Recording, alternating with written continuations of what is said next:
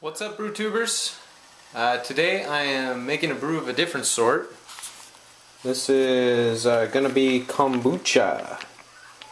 And here is my uh, what's called a SCOBY, um, which is like a mushroom kind of thing. This will actually grow on top of the batch.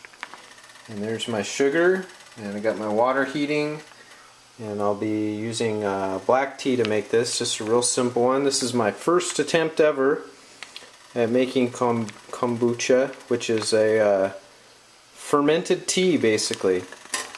And uh, SCOBY stands for symbiotic culture of bacteria and yeast. This one contains let me see what, uh, what it says here. Some Saccharomyces boulardii and Gluconobacter xylinus and Lactobacillus. So um, this is kind of an acidic, sour tasting beverage. I don't know if you've ever had commercially made kombucha, but uh, but I'm going to give it a shot making it at home. Okay, so I got my tea bags in there, and I am uh, I dissolved my sugar in there too. So I'm going to let that steep for about five minutes. Okay, my sugar is mixed and my tea is steeped and I'm chilling in the sink now. Gotta get it down to room temp.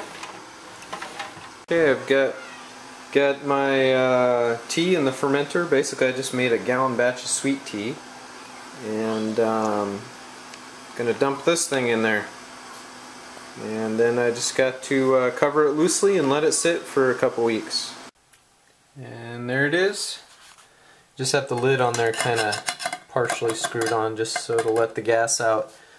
Uh, a lot of the instructions say to use cheesecloth or paper towels but I think that'll do the trick. And see that thing in there? That's the SCOBY and apparently another one of those should form. We'll see. I'll keep you updated